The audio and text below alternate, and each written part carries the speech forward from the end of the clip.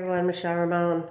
I'm gonna put this on my YouTube too. Um, you know, you could take all the experiences in life and just learn from it, like use it as a learning lesson. You know, me being an empath, it takes me a while to rejuvenate. And I used to tell Lonnie, my old roommate, I used to say, just give me a couple days, like, and then I'll start cleaning because I'm doing wife training right now. In case I do get a husband. If I don't, then it's God's will. You know, whatever God's will is, that's what you got to say. You have to accept life. If you're serving God, you have to accept whatever He is telling you to do. Like, you know, we're servants of God.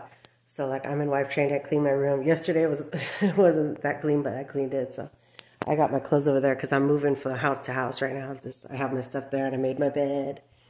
Everything's trying to organize it while I'm here. You know, like I fit, I consider this like wife training for when I do get married, and I clean the bathroom and washed a couple dishes. And sometimes you got to be careful with the grease because you can't pour grease down the sink because it'll clog your sink. So if you have like some grass just in the yard, like throw it out outside because it will ruin your sink to put grease in there and then you'll have to call a plumber. So um, you got to learn these things. Like I'm not really good at like painting and all that stuff. Like my my sister is good at all that stuff.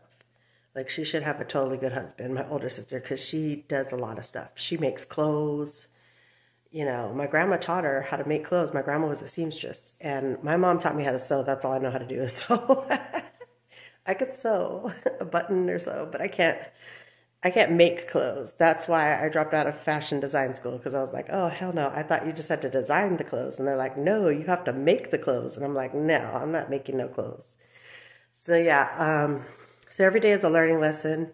You have skills that somebody else doesn't have, you know, and just just think in your head, you know, that you're enough because you have some kind of skill that somebody else doesn't have.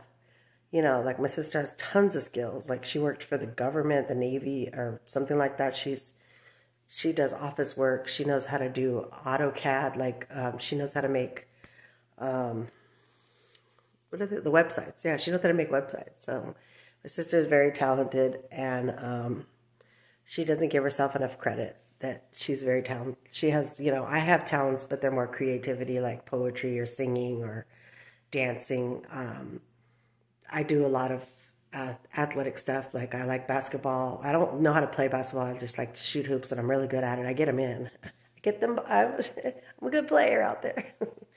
I get them in. Uh, so I like shooting hoops. I like ice skating. I like roller skating. There's a lot of stuff I like to do. So, I mean, I tried out for softball and they didn't pick me because I got hit in the nose with the ball. So, yeah, that's kind of like, okay, I guess I don't qualify since I got hit in the nose with the ball. That was my fault. I'm trying out, you know, I'm just trying out. Don't hit me in the nose with the ball. So, drink water and be happy. Yeah, so I just wanted to share that with you today that you do not have to be perfect, but you know, you can use your trials, your tribulations, or your learning, like your whatever you're going through, you could use it as a learning experience, you know, even in your job, you know. If your job, like I used to be a hostess for this um, company called, um, I'm trying to think of the company. It was a really big company. Um, I don't even know if they're still around. We used to um, I used to hostess for um, them selling land in Pahrump. Um, okay, it's going to shut off in a minute. It just warned me. All right, y'all. Like, share, and subscribe.